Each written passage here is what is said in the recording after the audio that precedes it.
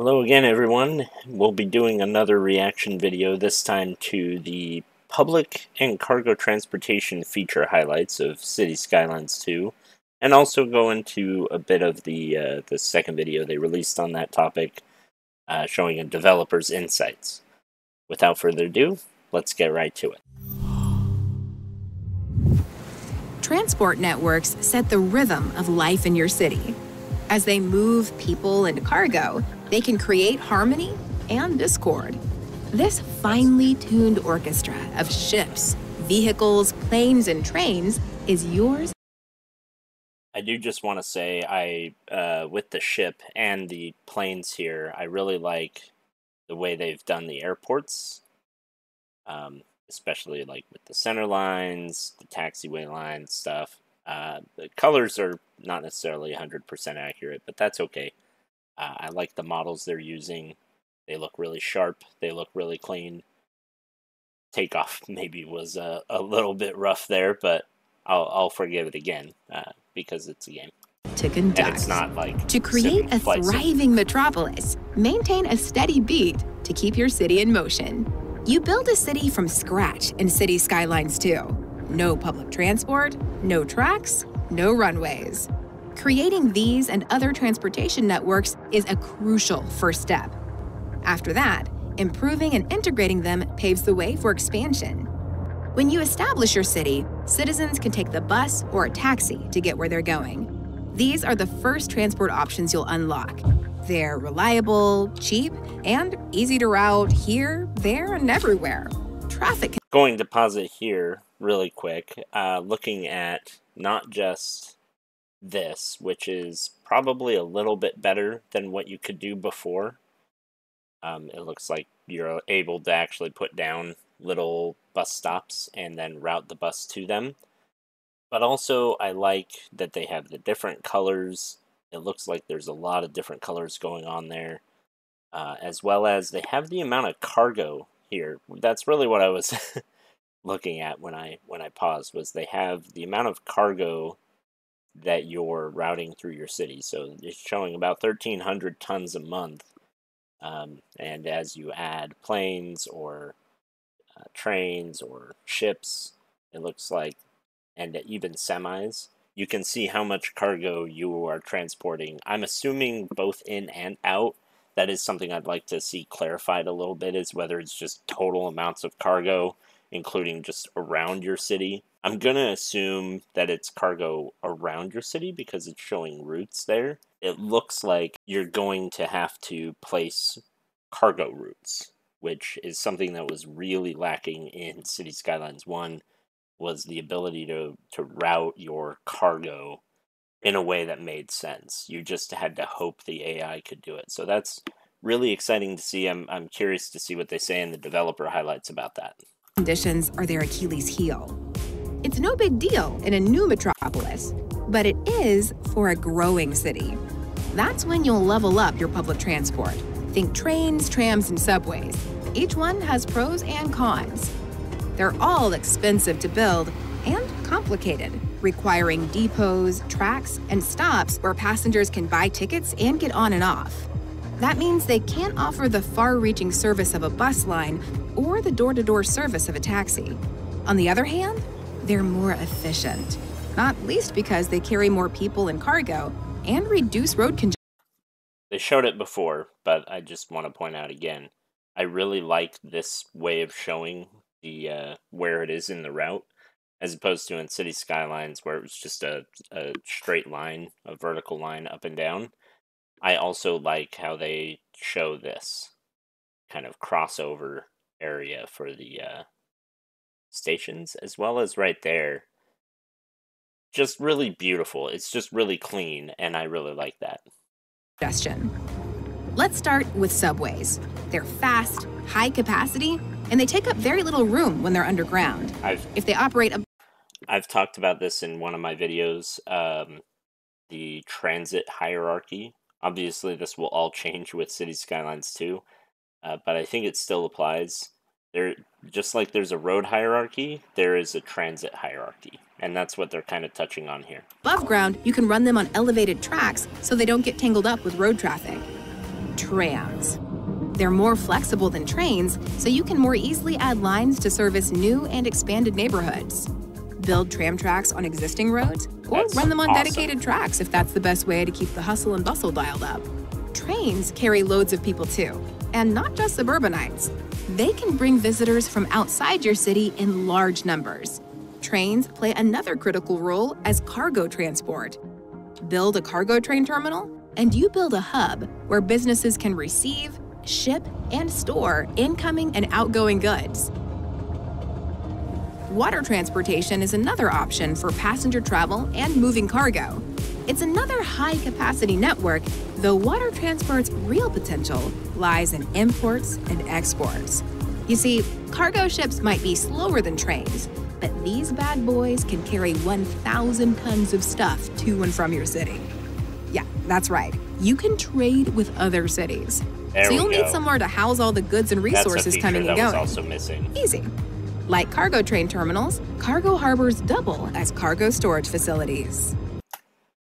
I'm glad they mentioned that. They double as cargo storage facilities, and I'm I'm hoping they touch more on this. Um, but warehouses and things like that of that nature were also really lacking in City Skylines One in terms of a like logistics standpoint. If you were really into the logistics of moving things in and out of your town, or even just around your town, it wasn't really easy. I'm inferring here based on that little one sentence thing that there is going to be a lot more thought put into their cargo transportation and logistics system, which is good. I'm I'm excited. Like all of the other networks, air transportation has drawbacks. Planes carry fewer passengers and less cargo than ships and trains. Airports are also astronomically expensive Also and have the true. footprint of a small town. Also very true. However, air transport has a pretty irresistible advantage speed.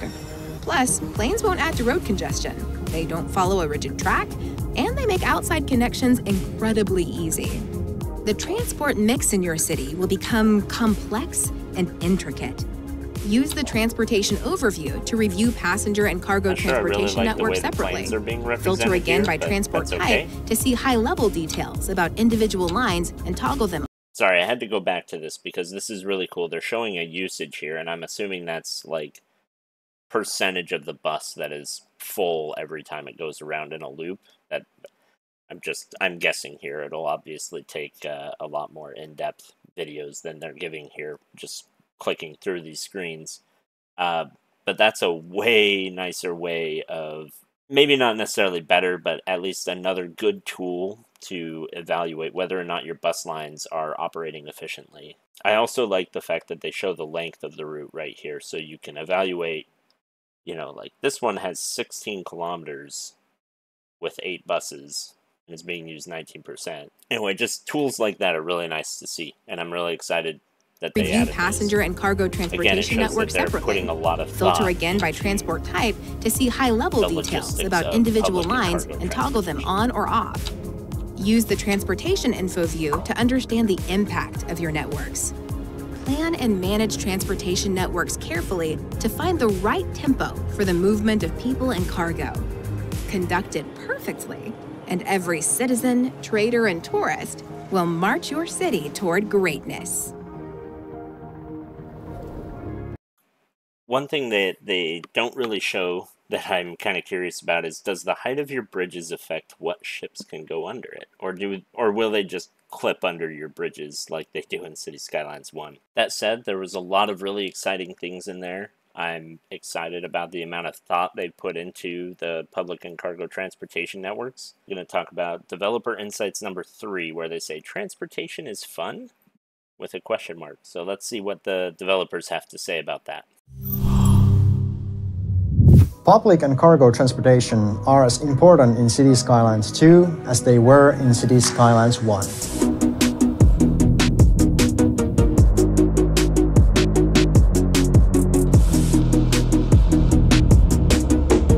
It looks very smooth, which is really nice. First, you create the depots. Then, you set up the stations or the stops. And then, you create the lines with the line tool. Okay. More like how you would do it in real life instead of just all of the land-based public and cargo transportation types need depots to function. The depots send out the vehicles and they also have upgrades that improve their functionality. Can be upgraded with an extra garage and electric buses. Okay, so instead of building just a electric bus depot, or it, honestly being able to just select electric buses right from the get, you have to upgrade it that's that's a nice little touch. You you can't just build the best and you know you have to put some thought into uh, what kind of depot you want. They also have employees here, as you can see. They have 22 out of 32 employees. They also have some pollution and noise pollution metrics, as well as vehicles in use and what all like the four different vehicles they have in use, what they're all doing. So one of them is currently boarding. The rest of them are just getting routed to the, the first spot in their destination. You can upgrade your bus depot to service electric buses. Increased capacity for rail yards and dispatch center for taxi depot. Similar things.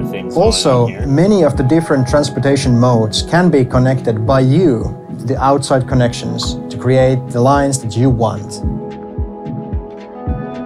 You can now make your own intercity bus lines. Oh, that's that's really cool. Okay.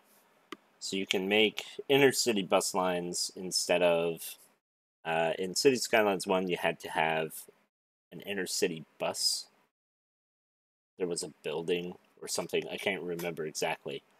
Um, yeah, that's really cool. The trams are included in the base game.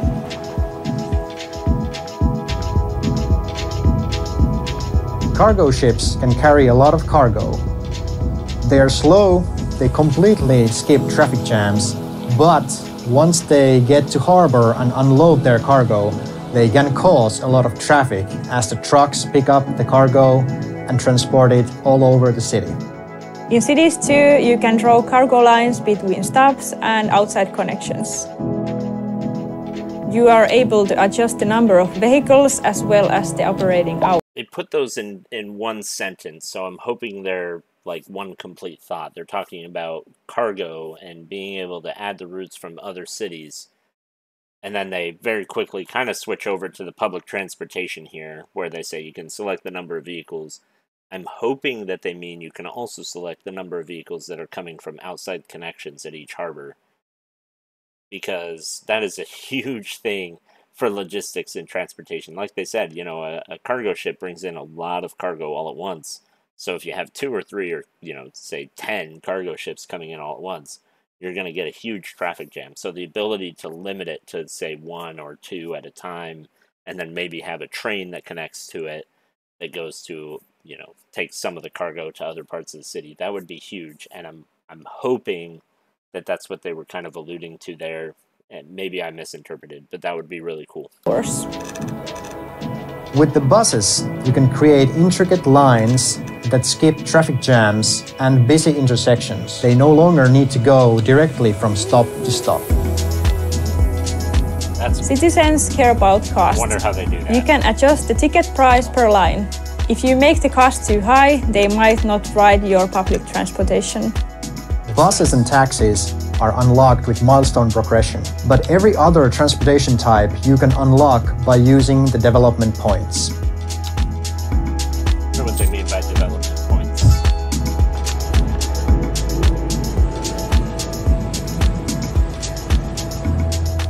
The new international airport is huge. It's the size of a small town. Oh! That was great. That was great. You got all the words down? yes, but I I was so sad. it's so size of a small. I can't. Uh, I'm so nervous.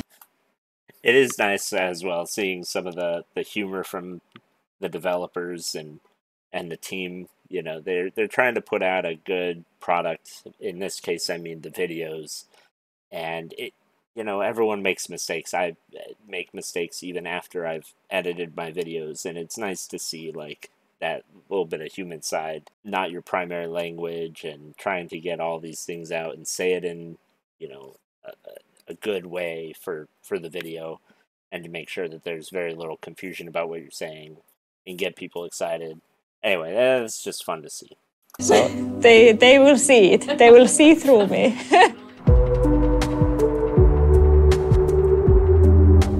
lines are very The game also features a line overview panel where you can inspect all your public and cargo lines.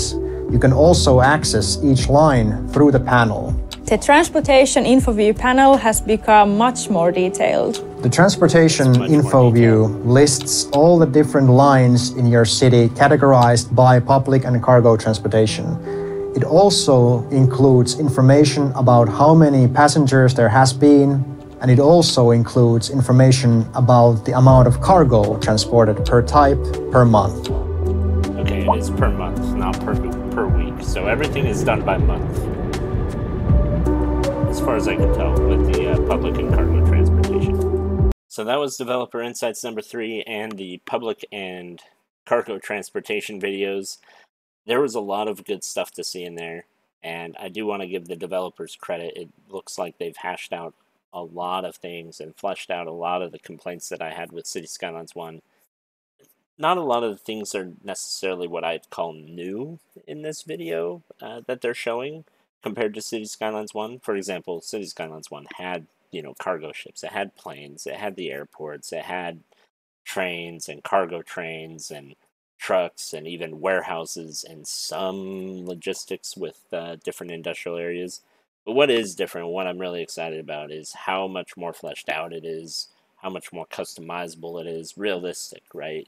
As a mayor of City Skylines One Towns, you've had very few options unless you had a lot of mods installed, and a lot of those things are being incorporated into this game right from the very start, and honestly, even fleshing it out a little bit more than a lot of the mods did in City Skylines 1, and that's really exciting. Another exciting thing that I saw in this, and I, I may have touched on it briefly, I don't remember. Uh, but they mentioned several times in the video trading with other towns, and that is something that was sorely missing in City Skylines 1 and was a feature of other city builders since forever. Um, one thing I'd like clarification from them on is if it's other, like, just computer generated towns that you can't actually see or if you can trade with your own cities. But anyway, the ability to to trade with say other real players or your own real cities just in other parts of the world, that would be really cool. And uh, I, I think if that's not something that they want to do or have implemented, I think it's something they should consider. Anyway, uh, that is it for these two videos. So if you like these, please uh, let me know in the comments. Otherwise, I guess uh, go and uh, watch some other videos. Hey everybody, I hope you enjoyed that video. If you do, Alfredo here says you should subscribe. Or maybe check out this video that YouTube recommends. Well, go on. Why don't you do it?